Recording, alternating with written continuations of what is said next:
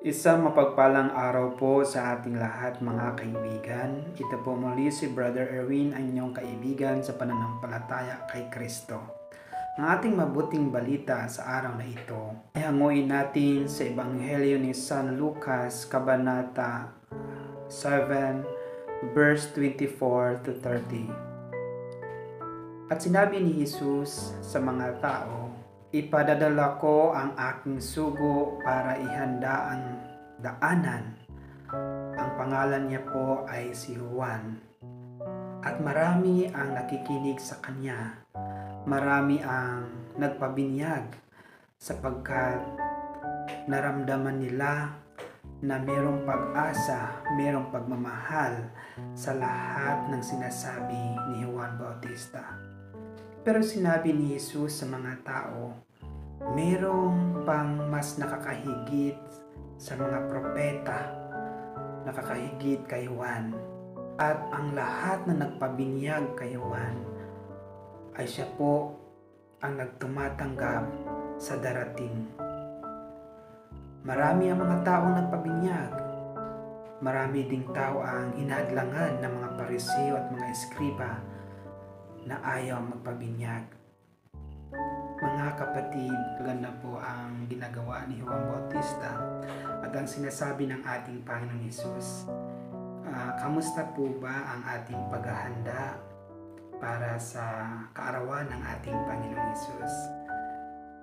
Ang tumatanggap at nagsasabuhay sa mga salita ng Diyos ay siyang tumatanggap sa presensya ng ating Panginoong Yesus. Maganda po mga kaibigan na pagnilayan natin ang ating mga sarili, lalo-lalo na ang ating paghahanda. Tayo po ba ay nag-exert effort para ihanda ang ating mga puso? Tayo po ba ay nagbibigay panahon para sa ating Panginoon? O baka naman po nakapokus lang tayo sa ating mga gawain sa bahay at nakakalimutan na natin magdasal, nakakalimutan na natin magsimba. Isa po sa pinakamagandang paghahanda sa kaarawan ng ating Panginoong Isus ay maglaan po tayo ng oras sa ating Panginoon. Maglaan po tayo ng panahon para makipag-usap sa Kanya kasi ito ang paraan na tayo po ay tumatanggap ng biyaya ng presensya ng ating Panginoong Isus. Baliwala po ang ating pagdiriwang ng Kapaskuhan sa 25 kung hindi po natin may handa ang ating mga sarili, kung hindi po may handa natin ang ating mga puso, kung wala pong kapayapaan, bali wala po ang Christmas party na ating ma uh, dadaluhan.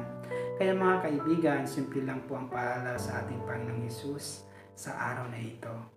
Na isa sa buhay natin o tatanggapin natin kung ano man ang ipapagawa sa atin ng Panginoon ang kanyang mga salita.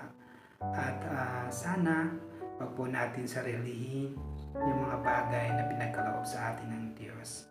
Let us share what we have to others. Katulad ni Juan Bautista, sa kanyang kababaang loob, naihandaan niya ang daanan ng Panginoon. Naihandaan niya ang mga tao para tanggapin ang presensya ng Diyos.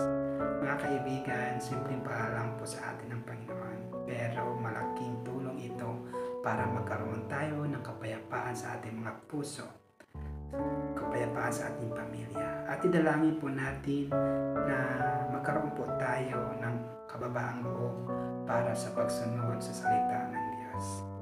Uli ito po si Brother Erwin ang nagpaalala ang bawat gising ay isang biyaya. God bless the like ng Diyos.